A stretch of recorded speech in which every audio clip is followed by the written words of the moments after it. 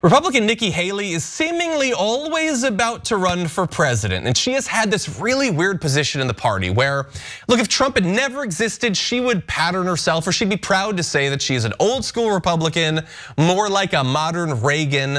But she has had to exist under Donald Trump, initially being critical of him back during 2016, um, then working with him while he was president, then criticizing him after the insurrection.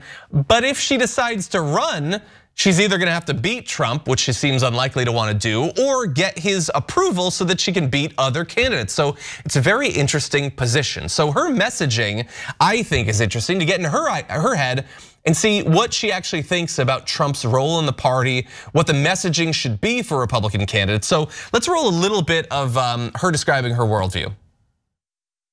The barbarians of the world fear nothing more than a confident and strong United States with the courage of our convictions.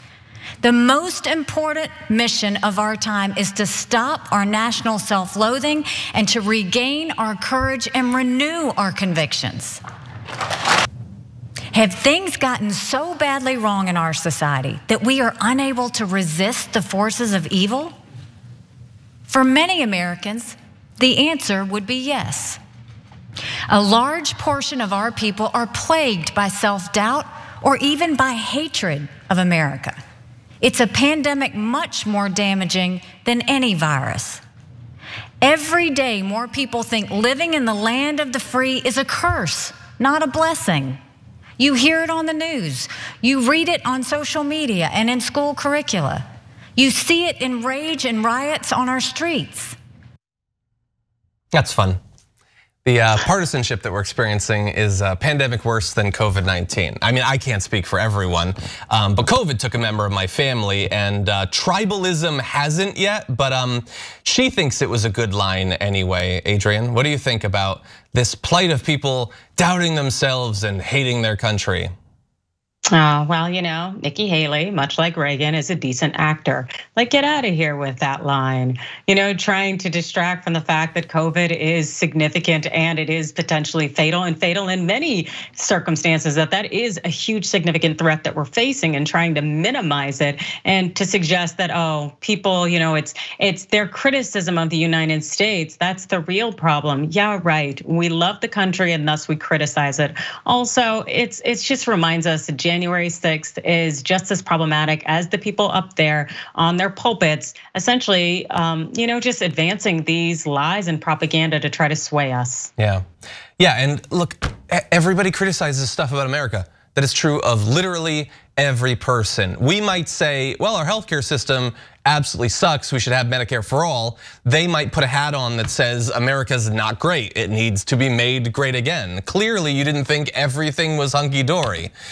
But she goes on to say um, that anger towards America has become the bedrock belief of the American left. I guess I didn't know that. I should put that in my bio now.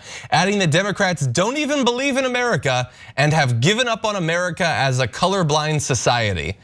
That took a, a very particular turn there at the end, Adrienne, that that like this is what we should be working towards. She apparently says that that message was our message first as Republicans and we must take it once again to the American people. I don't know if this is like trying to get into the whole uh, the backlash against CRT thing. Is is that what she's trying to appeal to? I'm honestly not sure. Yeah, it's trying to create that whole narrative that people who are criticizing the United States or who speak up against the systems of oppression, that for some reason they don't love America enough, and that the real way to go about it is to put on blinders and to pretend that the oppressions that people are calling out that they don't really exist. It's just pushing more of that us them narrative and trying to maintain the status quo. Yeah.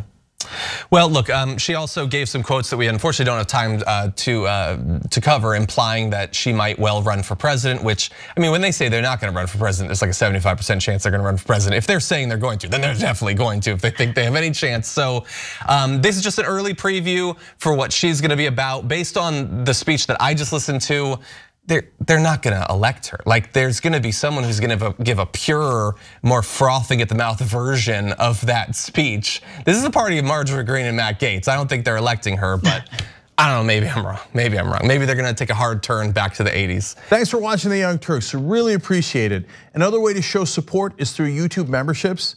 You'll get to interact with us more. There's live chat emojis, badges. You've got emojis of me, Ana, John, JR. So those are super fun. But you also get playback of our exclusive member only shows and specials right after they air. So all of that, all you gotta do is click that join button right underneath the video. Thank you.